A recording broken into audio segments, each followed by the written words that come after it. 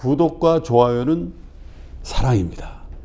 자, 오늘 뉴스 3부터 그러면 시작하도록 하죠. 어, 먼저 첫 번째 뉴스는 역시 그 부동산 관련된 뉴스인데 네. 이제 내일부터죠. 아, 3억이 넘는 집을 사려면 아, 전세 대출부터 갚아야 되는 모양입니다. 어제 우리 작가분의 전언에 따르면은 네. 아, 선생님 조금만 있어 보세요. 오늘 저기 저녁 때 혹은 내일 아침에 게스트 선정 좀 신중해야 될 것 같습니다. 그렇게 이제 문자가 온 거예요. 그래서 왜? 그랬더니 아, 저번에 대통령 얘기하고 그래가지고 오늘 12시에 대책이 나올 것 같다는 거예요. 네. 그래서, 그래서 기다리고 있었지. 근데 그 전에 10시, 10시인가 뭐 기사 타전이 되는데 지금 말씀드린 이제 3억 넘으면 오늘부터 전세 대출 갚아야 된다 이런 건데 사실은 이거는 지난번에 예고됐던 거를 오늘부터 이제 내일부터 네네네. 이제 시행한다라는 정도의 대책이고 제가 이제 들은 바로는 에, 정부에서 에, 이 공급을 늘리는 공급 확대 정책과 또 다주택자라든지 고가주택에 대한 세부담을 늘리는 에,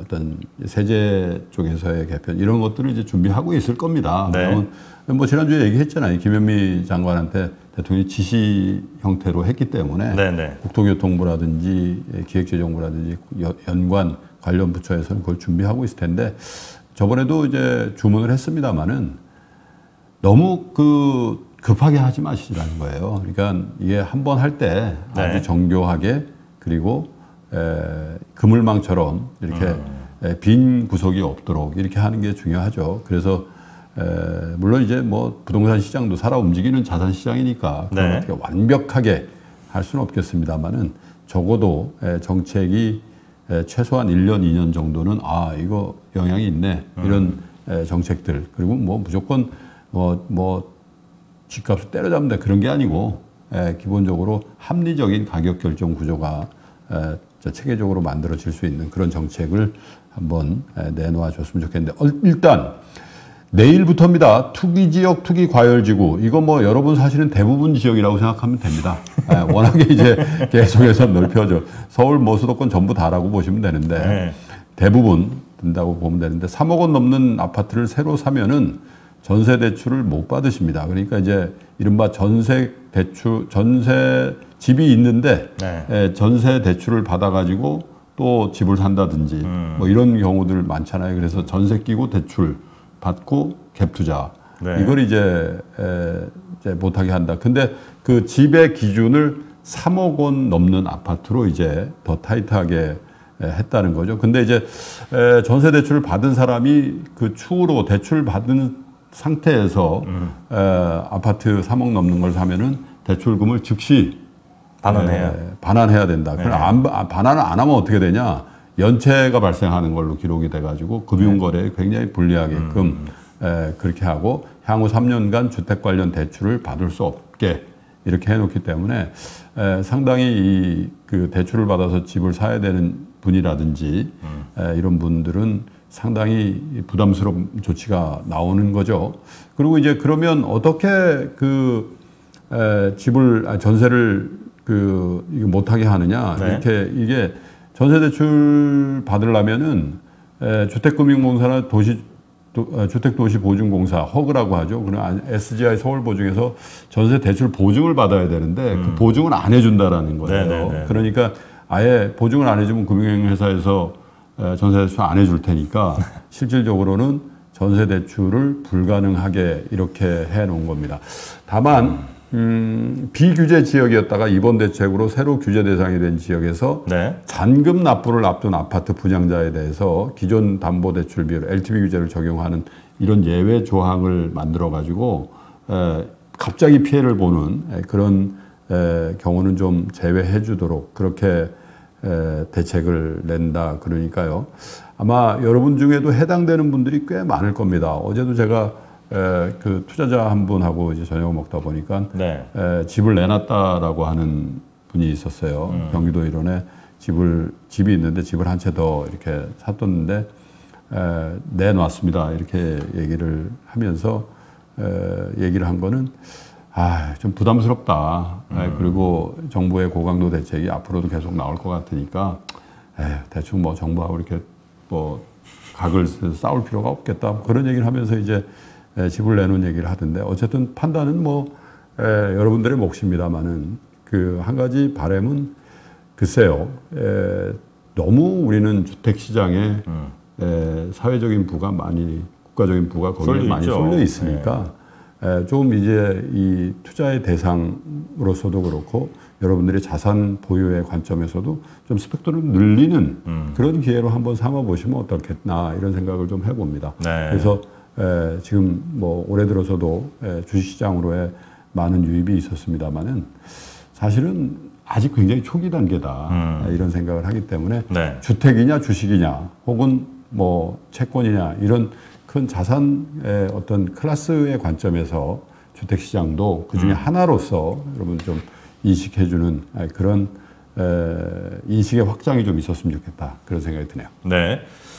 아무래도 뭐 자산 시장에 부동산이 상당 부분을 차지하고 있는 거야 뭐 부인할 수 없는 사실인데 어, 예를 들면 뭐 주식 같은 경우는 이게 뭐 기업에 투자되는 돈일 수 네. 있겠으나 부동산 같은 경우는 특별히 뭐 또 다른 부를 이렇게 만들어내거나 이러긴 좀 어려운 거죠. 그러기도 한데 또 사용 가치로서의 에, 어떤 우리 가족의 안식처고 또 일을 하기 네. 아니, 뭐 위해서 당연히 쓰는 그런 가치가 또 있기 때문에 네, 네. 에, 그냥 뭐 집을 한 채 갖고 있는 상황에서 에, 그 집도 가격이 오른 거를 완전히 불로소득으로 봐야 될 것인가에 대한 논점은 또 따로 있죠. 음. 네. 왜냐면 뭐 다주택을 한다든지 갭 투자를 한다 이런 거 말고 그냥 나의 보금자리 한채 음. 이거를 갖고자 하는 그 생각은 아주 본능적인 것 같아요. 네. 음. 특히 가장으로서는 그런 걸 많이 느끼지 않습니까? 그래서 그런 부분이 참 다 버무려져 있는 게 우리나라의 주택 가격이 아닌가 그런 생각이 음. 듭니다. 자, 그러면 두 번째 뉴스 전해드리도록 하겠습니다. 우리나라 주식시장의 기관 중에 가장 큰 데가 아마 국민연금인 것 예. 같은데 여기가 2분기에 어디에 투자했나 봤더니 배터리 바이오 소부장 네. 이쪽을 많이 사들였군요. 네. FN 가이드에서 이제 그 본 겁니다. 통계라든지 뭐 자료를 다 분석을 해보니까 국민연금이 지난 7일 현재 지분을 5% 이상 보유한 종목은 300개가 조금 안 되는 299개로 이 집계가 됐는데요. 네. 에, 지난 1분기 말 이후에 지분을 늘린 종목을 보니까, 그러니까 이, 5% 이상 갖고 있는 종목 중에서 오히려 지분을 더 늘린 종목을 보니까 123개인데, 그 중에 보니까 비대면 산업 관련주로 꼽히는 게임 소프트 업체 이런 데들이 좀 많이 있었고 또 에, 바이오 업체 또 이런 데들이 꽤 많았다 이런 거예요. 업종별로 보니까 의외로 화학 업종에서 국민연금 지분이 늘어난 종목이 12개나 돼서 전체 53개 업종 가운데 화학 업종이 가장 많았는데 화학 업종 대표 딱 하나만 꼽아 보세요. 화학 업종의 대표? 예. 혹시 그 배터리입니까? LG 화학 아니에요? 그러니까 LG화학 배터리? 네. 근데 이제 이게 배터리 업체로 우리가 많이 회자되지만은 사실은 매출의 대부분은 화학 쪽에서 나거든요. 여전히? 여전히. 아, 그래요? 예, 그러니까 LG 화학이 10.22%나 갖고 있었는데 3개월 만에 보니까 11.06%로 이 정도면 꽤 많이 늘린 거거든요. 대형주니까. 대환유화, 금호석유화학 이런 업체들 그리고 에, 포스코 케미칼은 5%가 아니었는데 네. 5%로 신규 편입이 됐다. 그래서 화학업종이 의외로 LG화학을 필두로 해서 국민연금에 에, 관심을 많이 받았다 이런 거고요. 그 외에 이제 반도체 및 관련 장비 업종이 10개고 네. 에, 그리고 제약이 8개고 그래서 이런 쪽에 에, 저 신규 편입 및 에, 지분 확대가 있었다. 예를 들면 반도체 및 관련 장비 업종에서 원익 QNC라는 회사가 7%대에서 8%또 지분이 늘어났고 유니테스트도 8에서 9%로 이렇게 늘어나. 그러니까 뭐 여러분 제가 아마 한한 달 전, 두 달 전부터 계속 소부장 얘기를 가끔 드렸는데 소재부품 네, 장비. 소재부품 장비 업체들 꾸준히 좀 보십시오. 이건 정부의 정책과 대기업의 전방 산업의 대기업의 이해관계가 맞아 떨어져서 뭔가 변화를 주려고 하는데 네. 소부장이라고 다 뭐 이 주가가 좋고 그런 건 아닙니다만은 정말 국산화하고 대체 수입 대체를 해야 되는 필수 핵심 소재 부품 장비 이쪽은 에, 굉장히 에, 좋은 환경으로 간다라는 그런 얘기들 많이 하고 있으니까요. 한번 보셨으면 좋- 특별히 에, 이번 주에도 소재 부품 장비 쪽에 에, 이벤트나 이런 것들이 좀 있고 그러니까 한번 보시면 좋겠네요. 그런데 그럼 어디를 뺐냐? 5% 갖고 5% 이상 갖고 있다가 네. 아 이거 조금 줄여봐 이렇게 한 데도 있잖아요. 대한항공, CJ, CGV, 남양유업, 제주항공, KMW, KMW 좀 줄였네.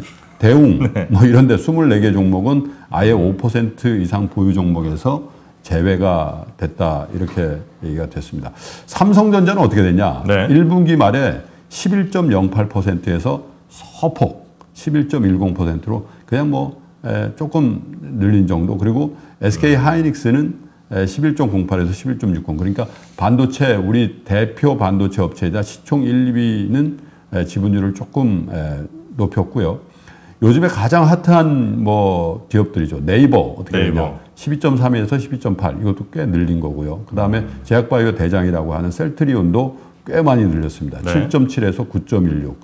현대차도 10.9에서 11.5 이렇게 늘렸고요. 다만 이제 카카오는 같은 기간 동안에 10%대에서 9.90으로 조금 에, 낮췄고 애시소프트도 아마 이익 실현을 좀한 거라고 봐야 되나요? 11.8에서 11.2로 지분율을 좀 낮췄습니다. 근데 전체적으로 보니까 어쨌든 국민연금이 5% 이상 지분을 가진 종목의 주식 평가액이 지난 1분기 말에 한 100조 4천억 정도 됐는데 음. 현재 지금 현재 보니까 124조 그러니까 무려 23조 8% 이거 뭐 3월 말 대비해서 주가가 많이 올랐으니까 근데 조금 상승률은 좀 덜하네 그런 생각이 좀 워낙 크니까 그런가 보죠. 큰 기업들이 많다 네. 보니까 어쨌든 국민연금은 전체적으로 보니까 네. 에, 주식을 조금 늘리고 있는 아직 뭐 평가액 자체는 늘었습니다만은 에, 우리나라 화학 업체라든지 아니면 음. 바이오 이런 쪽에 대표 기업들의 주가, 주식을 조금 늘렸다 음. 에, 대체로 많이 늘렸다 이렇게 분석이 됐네요. 네. 아, 뭐 정확히 일치하는지는 뭐 좀 들어봐야 되겠습니다만 좀 이따 또 우리 이정기 small cap 팀, 팀 팀장님이 또 나오시니까 뭐 국민연금뿐만 아니라 우리나라에서 그 기관 투자가를 제일 대면을 많이 하는 음. 저 분이니까 네, 그 기관 투자가들 선호가 어디로 가는지 오늘 small cap 혹은 에, 이런 코스닥 벤처 쪽에 음. 에, 업무를 하시는 이정기 팀장을 모셔보겠습니다. 네. 자, 그리고 오늘 뉴스 3 세 번째 뉴스는요. 어, 수소 관련된 시장이 좀 커질 것 같습니다. 아, EU 같은 경우는 10년 동안 70배를 키운다고 하고 미국, 일본도 수소 쪽으로 꽤 그래 이게 작년 이맘때만 하더라도 네. 수소는 뭐 대한민국만 한다 뭐 우리나라 우리 정부가 뭐 저기 네. 수소 경제 한다 뭐 그래서 작년 초에 굉장히 붐이 있었잖아요. 근데 이게 어느 틈에서 보, 보니까 우리보다도 오히려 유럽 쪽에서 수소를 특히 독일 같은 나라들 수소 경제 한다고 굉장히 적극적으로 예산 편성을 하고 이런다는 거예요. 예를 들면 네. EU 어, EU 연합이죠. 유럽 연합이죠. 거기 행정부 격인 EU 집행위원회가 에, 현지 시각으로 어제 8일 날 유럽 수소 전략이라는 걸 발표했는데 보니까 EU 수소 경제 규모는 올해 20억 유로. 이거 얼마 안 되는 거야. 20억 유로. 2조 6천억 정도 되는데 2030년 사실 2030년이니까 10년이니까 금방 네. 갑니다.